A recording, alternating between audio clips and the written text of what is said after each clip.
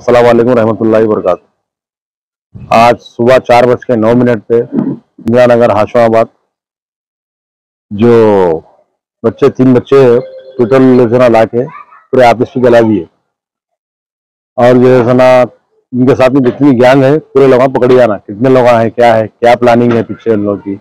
आखिर एम से इतना जलन क्यों हो रहा है? लोगों को प्रॉब्लम क्या है आखिर एम पार्टी से?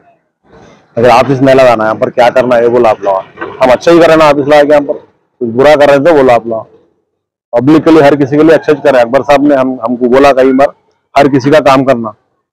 हमें नल का कलेक्शन भी नहीं है तो हम जेब से पैसे देके काम कराते हैं हम। अकबर साहब ने हमारे एमएलए साहब हम, हमको ये बोलते क्या है? कौन लोग समझ में नहीं आ रहा कौन है क्या है। पुलिस वाले इंक्वायरी कर रहे हैं। इसकी इंक्वायरी होना है इसके पीछे कौन है? रात में कहाँ कहाँ बैठे किसके में बैठे कौन इन लोगों को भेजा है? ऊपर इंक्वायरी होना। तो पुलिस को कंप्लेंट दिया। पुलिस कंप्लेंट दिए मल्लाड़ा पी एस आप चंद्रकोटा इंदिरा नगर नुकसान हुआ लाइफ थोड़ा. ज़्यादा ज़्यादा कुछ भी ना हुआ खुदा ना खासा ये ऑफ़िस पे कोई ना कोई गरीब लोग आके कभी घर नहीं है, कभी घर में पानी तो आना, सोने के लिए भी आता अंदर कोई सो जाते तो कुछ ना कोई बड़ा हादसा हो जाता.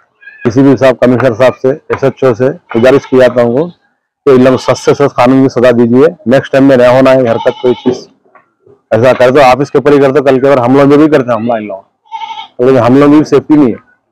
अब आप इस पे करे एम आप इस पे करें। एम से अब आखिर तक जलन क्यों हो रही लोगों को? समझ में नहीं आ रहा मैम अगर उधर सामने का बात करो हमसे फेस टू फेस बात करेंगे, कुछ प्रॉब्लम है हमारे साथ तो बोला हम कुछ गलती करे तो बोला हमको। जो भी है, बात करो हमारे साथ बैठ के बात करेंगे आपस में। ये क्या है? बेकार चीज़ ऐसा करना।